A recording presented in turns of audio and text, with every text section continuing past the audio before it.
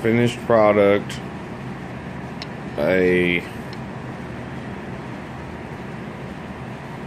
Thompson detail gouge 7 16ths. I believe it is called a Hipple. The 7 16ths size has got something to do with the the name uh, uh, man by the name of Hipple, I believe, came up with that size, and so they named it after him. So I have to say, I've only used a little bit in this video, and um, so far I'm very happy with it.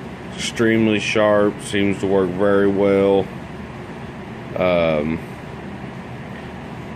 you know, I I would say um, if if you're in the market for buying any new tools anytime soon, uh, from what I've gathered off of just this one so far, I'll probably be purchasing Thompson tools. Um, and no, I'm not getting paid to say that, but he seems to make a good product. Um, so, American made product.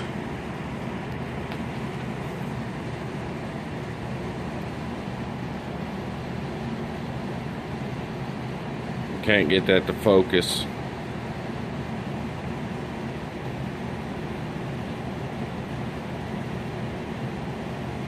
Well, well, he stamps a good, good looking Thompson in there. So, all right.